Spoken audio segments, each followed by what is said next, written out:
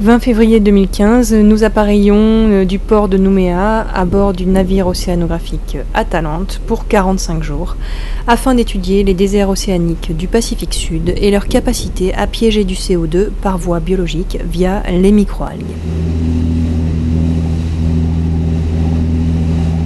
À bord, 30 scientifiques et 27 membres d'équipage. La mission débute par la démonstration des consignes de sécurité, localisation des canaux de sauvetage pour les scientifiques et euh, essayage des combinaisons de survie.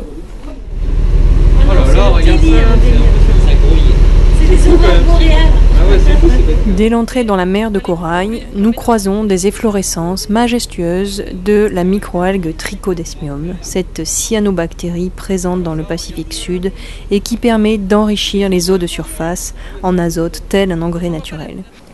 Cette rencontre est de bon augure puisque l'objectif du projet Outpace est d'étudier l'impact de ces organismes, de ces microalgues, sur la séquestration de CO2 dans le Pacifique Sud.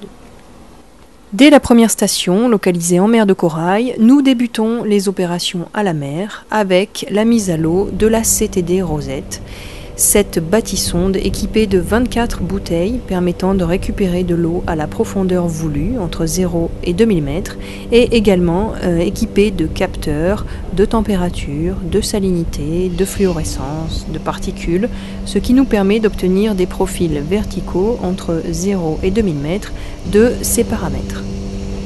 L'un des focus du projet Outpace est d'étudier les premiers maillons de la chaîne alimentaire marine, donc toute la vie que l'on ne voit pas, tout ce qui est microscopique.